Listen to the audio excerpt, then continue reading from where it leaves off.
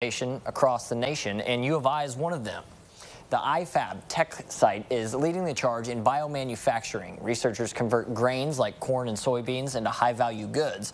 Textiles, biofuel, and food ingredients are some of the resources they're making. We talked to the CEO of American Edge, a group of tech leaders advocating for policies supporting American innovation. He says the work U of I is doing not only benefits the nation, but will put us at the forefront in biotechnology for years to come.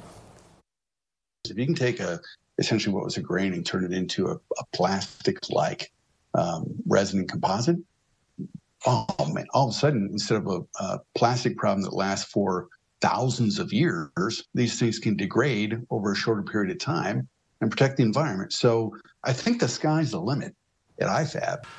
He says the hub could continue making commodities benefiting everyone worldwide. Alana,